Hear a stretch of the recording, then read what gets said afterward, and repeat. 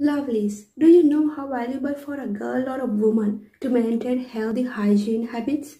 Having a self-cleaning system not only makes you look good but also helps you to have a healthy life and well-being.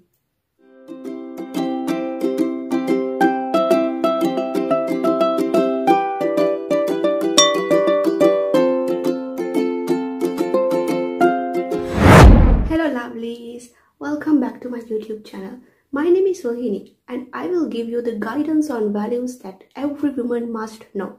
In today's video, I'm going to give you 5 feminine hygiene tips that you must practice as a woman. Let's get started. Tip number 1. Wash and clean yourselves daily.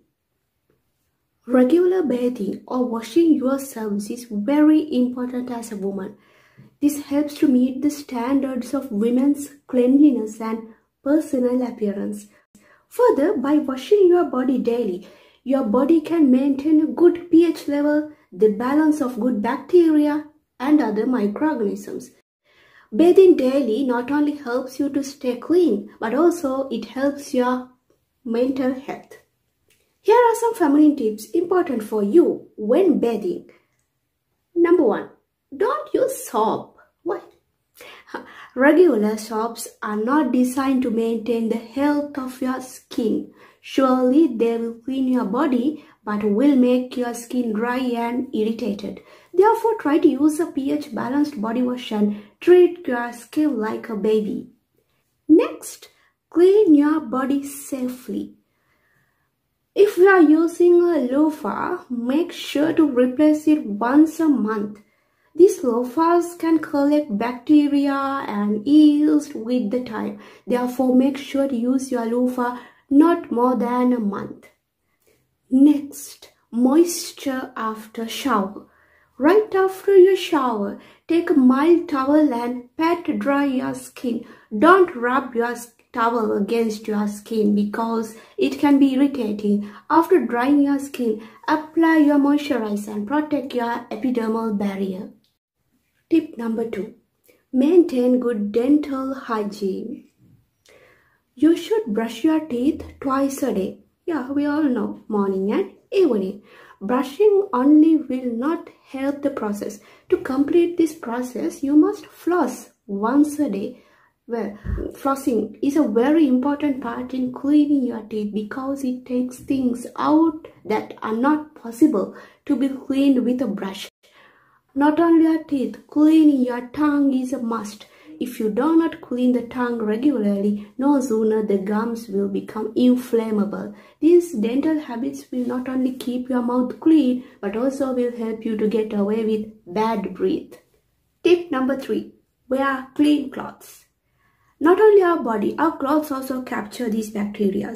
Therefore, it is not good to wear your clothes without properly washing and drying them when we talking about clothes uh, we have to pay more attention on the way of cleaning our undergarments. When washing undergarments use mild detergents. So it will be not harsh a treatment for your undergarments and your body too. After washing your undergarments it is important to air dry them rather than using a machine. Tip number four toilet etiquette this is a very important thing. When using a public toilet, make sure to use a pee sanitizer on the toilet seat before using it.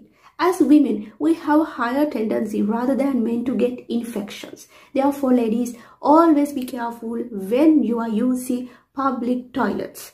Another important factor is that every time after peeing, make sure that you have no leftover pee on the toilet seat. It may be a public toilet or your personal place, but you should clean it up and use the toilet paper to make it dry and clean. Finally, after doing your stuff, flush the toilet well.